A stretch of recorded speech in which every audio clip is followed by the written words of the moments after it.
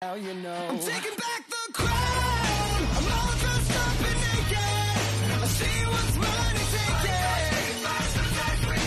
Oh, yeah. The crown. So close I can taste it.